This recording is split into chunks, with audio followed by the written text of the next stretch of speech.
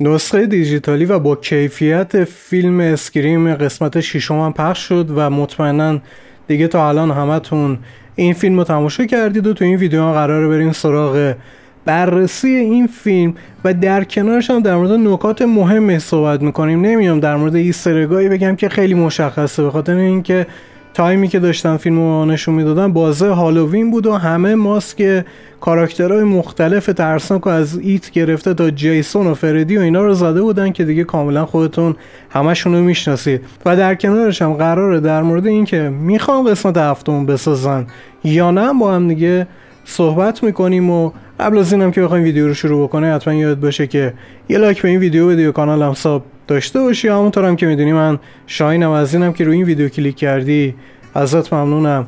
بریم سراغ قسمت شیشم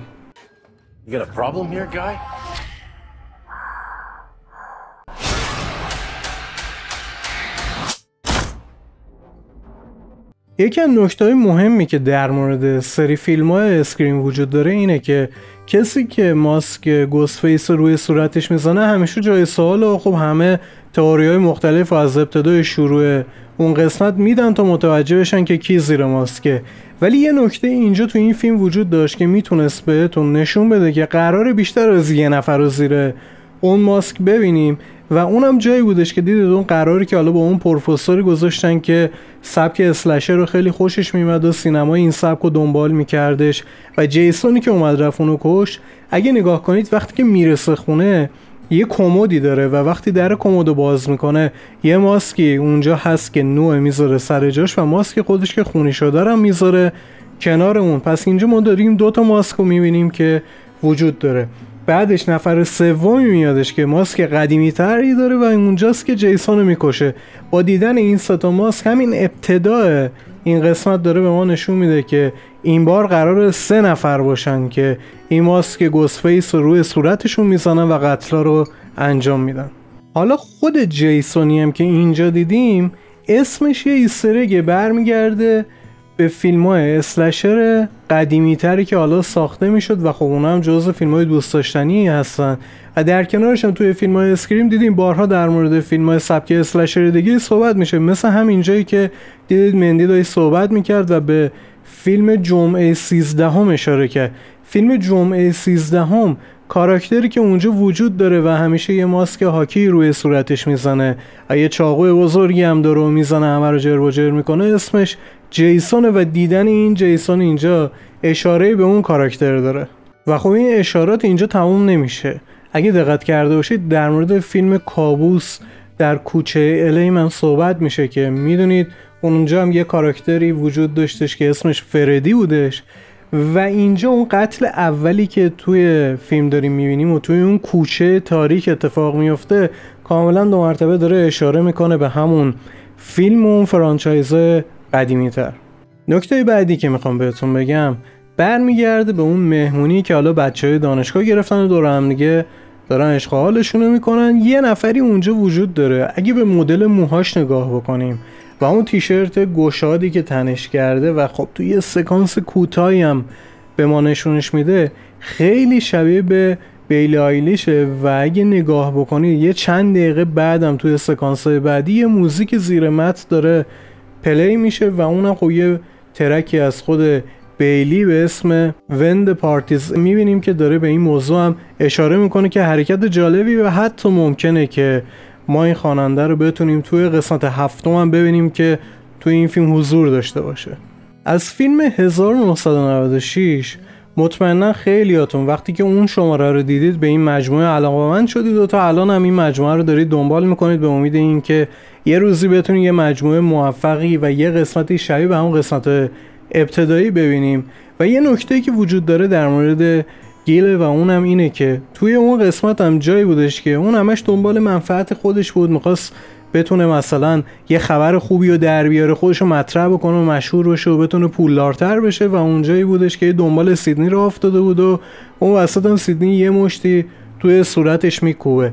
این اتفاقی که داره میفته برمیگرده دقیقا به همین اتفاقی توی قسمت جدیدم دیدیم. اینجا می‌بینید که سم وقتی که سمتش می‌خواد مش بزنه اون جاخالی میده به خاطر اینکه تجربه قبلی داشته از اینکه امکان داره هر کسی سمتش مش پرتاب بکنه. خودش هم می‌دونه که تو این مسائل که دنبال منفعت خودش میگرده آدم مزخرفیه. ولی خب فکر اینو نمیکردش که تارا کسی باشه که مشت دوم بهش بزنه و خب این ضربه می‌خوره و یه استریک خوبی از مجموعه های اولیه این فیلمه. کاراکتر مندی کاراکتریه که خب خیلیاتون مطمئنا بهش علاقه داره به خاطر اینکه معمولا هرچی پیش بینی می‌کنه درست از در میاد. چون خودش به تنهایی یه خوره فیلم های سری اسلشره و از تمام اتفاقاتی که ممکنه برای همچین کاراکترهایی که توی همچین داستانی گیر میفتن بیفته اطلاع داره. و خب می‌بینید که اینجا دو تا تیشرت هم تنشه که دو تا نوشته مختلفی روش دیده میشه.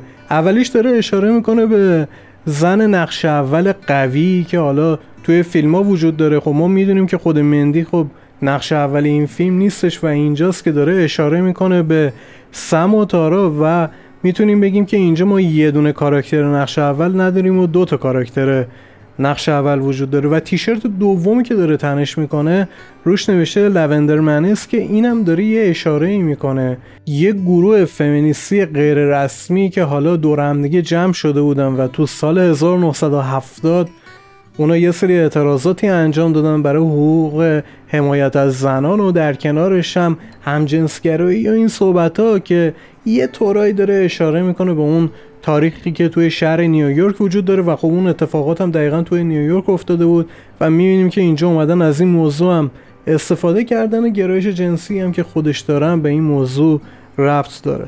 ماسک گوسفیس یکی از نکته هایی که همیشه خود توی سری این فیلم ها خیلی دیده میشه و توی دید هممون هم هست. اینجا اگه نگاه کرده باشید یه ماسک قدیمی تری وجود داره که اون بیشتر قتلا رو انجام میده و داریم می‌بینیم که دنبال کاراکترهای مختلف داره انجام میده و میره جلو و داره نشون میده که یه نفر وجود داره و یه نفری که این ماسک به صورت می‌زنه.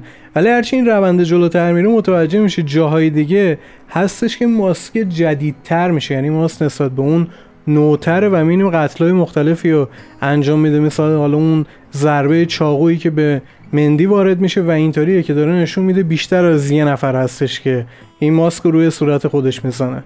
اینجا توی فیلم شما متوجه میشید که کوین و ایتان همدست پدرشون بودن و خب اونم کسایی بودن که ماسک روی صورت خودشون می‌زدن که البته دیدن ماسکاشون مدلش فرق داشت. حالا یه نکته اینجا وجود داره در مورد دوتا کاراکتر که می‌شد بهشون شک بکنیم. اول در مورد کوین با هم دیگه صحبت بکنه. خب ما دیدیم که اونجا خونی و اینا شد ولی خب ندیدیم که بمیره. یعنی به ما نشون ندادن که مردش فرداشتن بردنش یا اتفاقات بعد از اونو بیشتر به ما توضیح ندادن و دیدیم که اونجا هم حالا اون کارگاهی که وجود داشت اومد سریع بحث رو قطع کرد و هدف رو انداخت روی انتقام گرفتن و یه جورایی مسئله رو پیچوندش که بره سمت کار اصلی خودش. و اینجا خب به خاطر اینکه به ما نشون ندادن چه اتفاقی براش افتاده داشت نشون می‌داد که می‌تونه این کاراکتر زنده باشه و اینو سیابازی باشه. از طرف دیگه ما کاراکتر ایتانیا داشتیم که همه بهش شک کرده بودن. دیدید که مندی هم بهش گیر داد چت بهش گیر داد گفتش که تو کجا بودی؟ اون گفت من توی کلاس اقتصاد رفته بودم. و یه نکته که اینجا وجود داره و خب یه طورایی هم ضعف حساب میادش اینه که اون اگه تو اون کلاس اقتصادم رفته باشه بالاخره از این مجموعه بچههایی که اونجا بودن یه نفری باید تو اون کلاس اقتصاده یه رفیقی چیزی داشته باشه بتونن آمارشو بگیرن ببینن واقعا تو اون کلاس رفته یا نرفته. و خب می‌بینیم که هیچ کدومشون همچین کاری انجام نمیدن و بیخیالش میشن. ولی خب همچنان مندی کسیه که می‌بینیم که بهش شک داره و شکش هم کاملا درست بودش. یه نکته که باعث شده من خودم به این کاراگاه شک داشته باشم این بودش که تمام اطلاعاتی که وجود داشت و اون پرونده های قدیمی که داشت رو می‌شد ماسکایی که استفاده می‌کردن دی های قدیمی همه چیزایی بودش که دست پلیس بود. توی بایگانی پلیس بود و هیچ کس به جز کسی که حالا توی اداره پلیس کار بکنه و سابقه طولانی داشته باشه نمی‌تونست به اونا دسترسی داشته باشه. و اینطوری بودش که می‌شد از اولم به این پلیس شک حالا درسته که داشت این شک رو میکشون به سمت مامور افیایی که دیدیم که جزی از بچه های همین گروه هم بود قبلا. ولی خب متوجه می‌تونستید بشید که خودش از همه مشکوکتره و خب این یکی از نشونهایی بود که نشون می‌داد که این پلیس هم همچین آدم نرمالی نیست و می‌شد از اول بهش شک داشت. نکته بعدی که وجود داره اینه که توی حرفایی که مندی داشت می‌زد برگشت گفتش که لازم نیستش که همیشه وقتی که یه فیلمی ساخته میشه و داریم یه فرانچایزی رو نگاه می‌کنیم یه صحنه بعد از تیتراژ داشته باشه و خب این چیزی بودش که برای این فیلم هم وجود داشت. صحنه بعد از تیتراژ نداشت یه صحنه قبل از تیتراژ داشت و ما یه نفر رو با ماسک گوسفیس دیدیم اون اسلحه شادگانی که دستش بود و این داره نشون میده که برمیگرده به اون سکانسی که توی فروشگاه بودن اون اسلحه که برداشته بود و داشت به اون موضوع اشاره می‌کرد. هرچند که یه چند تا تئوری هم میشه داد که یکی از اون تئوریا که به نظرم مهمتره و بهتره اینه که یه نفر دیگه ای هم قاطی این کاراکترهایی که حالا داشتن آدم میکشتن وجود داشت و داشت یه سری قتلا رو انجام می‌داد که توی فیلم اصلا رو نکردنش. یعنی به عنوان کاراکتر فرعی گوشه کنار کارهای خودش رو کرد که کنار کارهای اونا قاطی شد و اینطوریه که اصلا بهش توجه نشد و شاید بتونم برای قسمت بعدی بیان از این کاراکترم استفاده بکنن.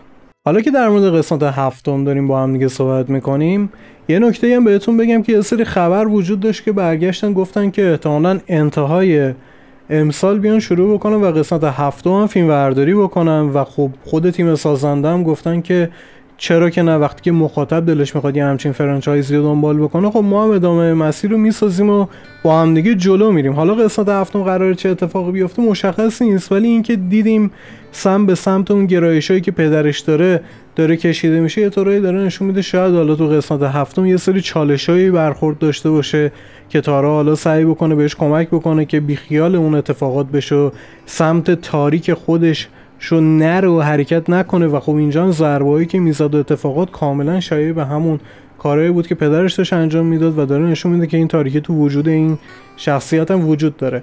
و حتی ممکن یه حرکت دیگه ای بیان انجام بدن و اونم اینه که اونو تبدیل بکنن به یه گوسفیس مثبت. یعنی یه دونه گوسفیسی وجود داشته باشه که منفی سعی می‌کنه بقیه رو بکشه یه گوسفیسی که مثبت می‌خواد بیاد اون گوسفیس رو بکشه و یه همچین حالتی رو بخوان درست بکنن و باید ببینیم که هدفشون برای قسمت هفتم چیه و می‌خوان توی قسمت هفتم چی به ما نشون بدن. و خب خودتون هم می‌دونید معمولا وقتی این فرانچایزا زیاد ادامه پیدا می‌کنه اونطوری که باید و شاید نتیجه درستی عذاب در نمیاد و نمی‌تونن خیلی خوب مثل اون نسخه اولیه خودشون بشن. این چیزی که دارم بهتون میگم تو این قسمت هم دیده می‌شد. ما اینجا دیدیم کاراکترها خیلی یا چاقو میخوردن در و داغون می‌شدن و خب باز دو مرتبه بلند می‌شدن که همچین چیزی اصلا غیر ممکنه وقتی همچین ضربه های سنگینی کسی می‌خوره چاقو تو شیکمش فرو میره و اینا بره الان مثلا تو بیمارستان یه باند بزنن روش یه بخیه بکنن داناته برگرده بیادش اصلا همچین چیز غیر ممکن به خاطر اینکه اون خونی که از دست داده اون ضربه ای که خورده اصلا نمی‌تونه طرف از جاش بلند بشه که بخواد ادامه این مسیر رو بره مگه اینکه حالا توی همون درگیری ها باشه که داغ باشه که بخواد بلند بشه اونم حالا با اون ضربه های بزرگی زده میشه مثل اون چاقویی که توی حلقه ایتان رو اولی دیدیم بازم بلند شد. اینه یه مقدار غیر منطقیه و باعث میشه که اصلا کیفیت کار پایین بیاد. ولی خب داریم می‌بینیم که دارن ازش استفاده می‌کنن.